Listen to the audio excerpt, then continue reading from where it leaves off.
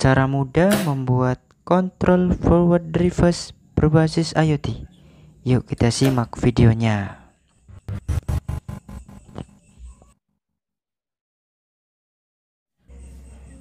Halo YouTube, di video ini saya akan membahas cara mudah membuat kontrol forward reverse berbasis IoT. Oke, yang sudah saya gambarkan sebelumnya rangkaian sederhananya untuk switch yang digunakan pada rangkaian ini berupa sound off yang pada basicnya merupakan peralatan yang sudah support menggunakan IoT. Sound off ini sendiri digunakan sebagai kontrol utama sebagai yang mengontrol rangkaiannya akan dibantu menggunakan konektor. Pada simulasi ini saya membutuhkan beberapa perangkat salah satunya adalah MCB NCB di sini digunakan sebagai pengaman rangkaian apabila terjadi hubungan singkat pada wiring sehingga aman. Selanjutnya dua buah sound off. Sound off yang pada basicnya sebagai smart switch yang sudah support dengan IoT. Pada rangkaian ini, sound off difungsikan sebagai kontrol utamanya. Selanjutnya, saya gunakan kontaktor, yaitu perangkat penghubung antara beban kontrol Oke, bagian penting pada rangkaian ini. Oke, hanya seperti itu yang saya gunakan. Oke, selanjutnya saya akan merangkai pada panel. Nah, ini dia panel yang saya akan gunakan. Oke, yang pertama kita pasangkan konektor pada rel yang sudah disediakan. Pasangkan agar tidak bergerak.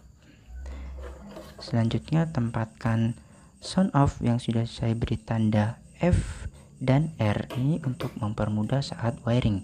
F artinya forward dan R artinya reverse. Tempatkan sejajar. Kemudian kita pasangkan MCB. Dua buah MCB berupa sumber fase dan netral. Keduanya digunakan sebagai pengaman rangkaian agar tidak terjadi konsleting. Oke, telah MCB terpasang lalu kita cek dulu mana yang fasa dan mana yang netral. Beri tanda saja untuk mempermudah. F sebagai fasa dan N sebagai netral. Oke N F dan N. Oke setelah sudah terpasang pada panel pastikan terlebih dahulu sound off sudah sejajar dengan kontaktor dan sudah merekat dengan kuat dengan panel Oke, hal ini untuk mempermudah saat wiring agar tidak bergeser. Oke, selanjutnya saya akan simulasikan bagaimana cara instalasi rangkaian forward reverse berbasis IoT. Oke, acuannya adalah gambar yang sudah saya gambarkan sebelumnya. Oke, yang pertama kita akan pasangkan input dari sound off-nya. Kita paralel aja keduanya dengan menggunakan MCB. N dengan N dan L dengan L. Pertama, sambungkan input N dengan N pada sound off. Keduanya diparalel saja untuk mempermudah.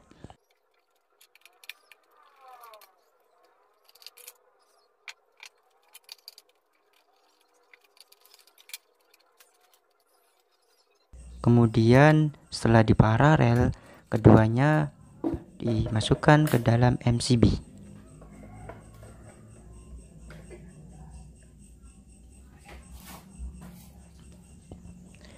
Oke, N dengan N sudah di paralel.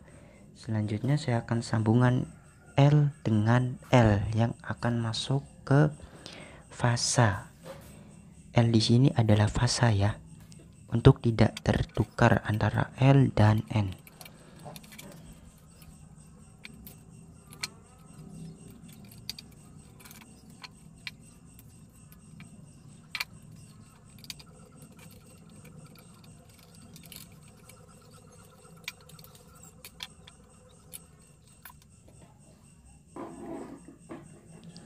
Ketika kedua L sudah diparalel, lalu sambungkan L tersebut pada F pada MCB.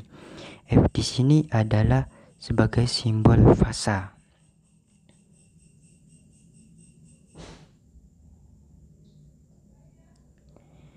Oke, untuk kedua input N netral dan L sudah terpasang, artinya untuk input sound off sudah selesai.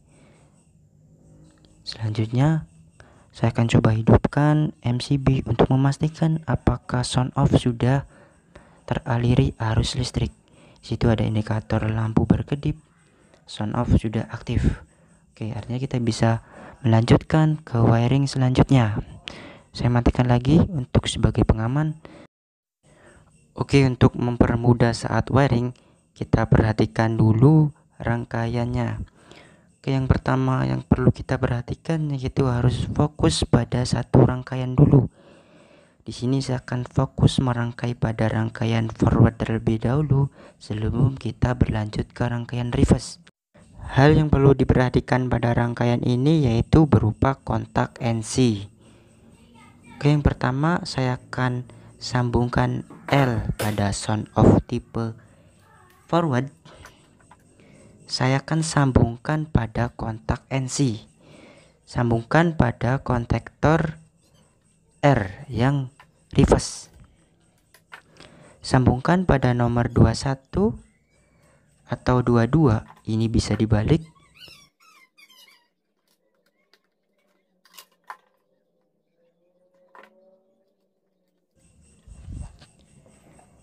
Pastikan kabel terpasang dengan benar. Kencangkan agar tidak kendor. Selanjutnya setelah input kontak NC terpasang, kita akan sambungkan output dari kontak NC ke coil kontaktor. Coil di sini yang kita pakai adalah A1. Coil kontaktor pada kontaktor yang sudah saya kasih tanda forward.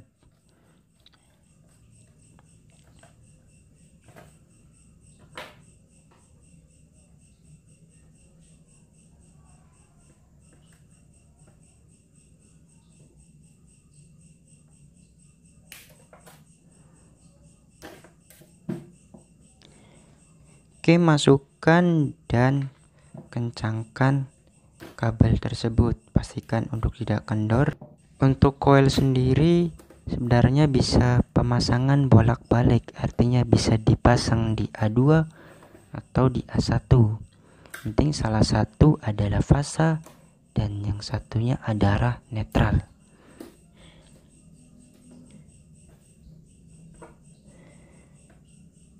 Saya perjelas kembali mengenai wiringnya. Input pertama itu dari kontak NC, NC lalu outputnya masuk ke coil. Coil di sini saya sambungkan ke nomor A1. Nanti dari A1 akan keluar output berda A2. A2 sini adalah netral. Karena coil ini bekerja antara fasa dan netral.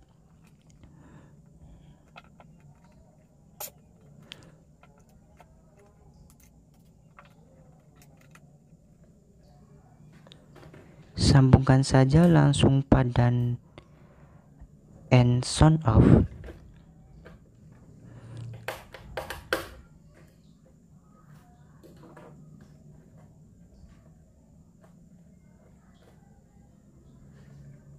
Nah, seperti ini. Untuk wiring pertama, kita pastikan kekencangannya dulu agar tidak kendor.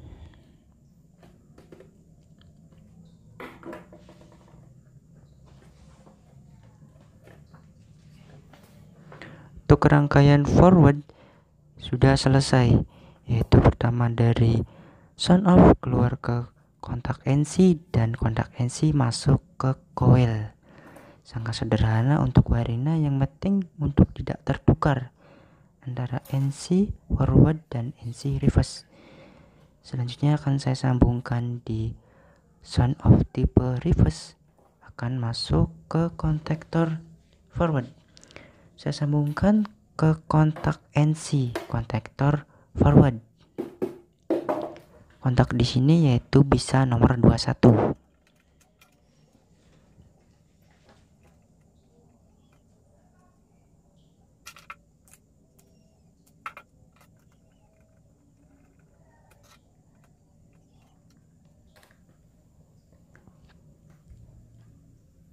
Nah, seperti ini dari sound off pipa L masuk ke kontak NC kontaktor forward. Selanjutnya kontak NC22 masuk ke coil. Gunakan coil A1 saja masuk ke kontaktor reverse.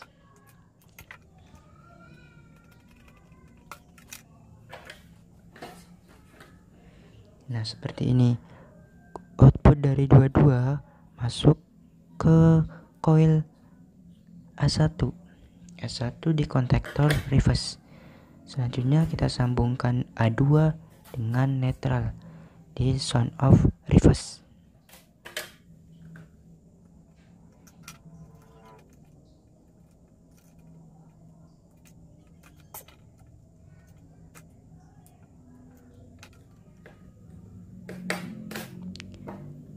Kencangkan wiringnya pastikan untuk tindak kendor.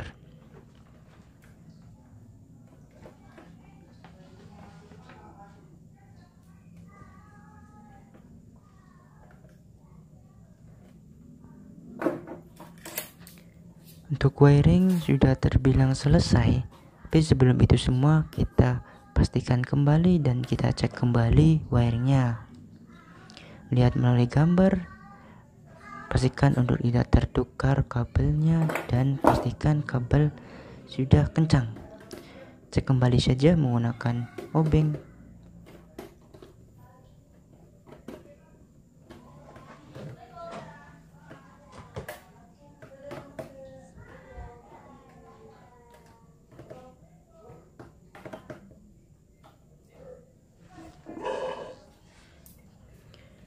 untuk wiringnya sudah selesai.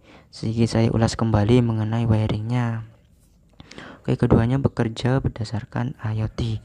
Oke, untuk mengontrol motor forward, kita masuk ke aplikasi e-wheeling yang sebelumnya sudah saya setting. Son of tipe F yaitu untuk forward dan tipe R untuk reverse. Di sini akan saya akan bahas simulasi cara kontrolnya.